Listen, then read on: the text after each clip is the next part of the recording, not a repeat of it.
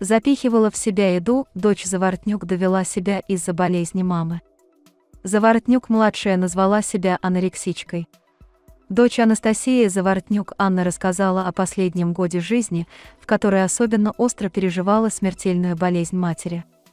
26-летняя актриса написала в социальных сетях, что целый год полноценно не принимала пищу. «Я запихивала в себя еду, чтобы хоть как-то жить дальше», все из-за нервов от новостей про маму, говорится в посте Анны. Заворотнюк-младшая страдает от постоянных скачков веса.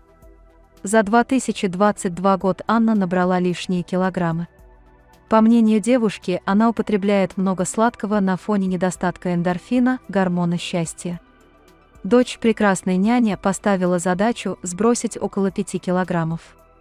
На данный момент Анна находится в Дубае.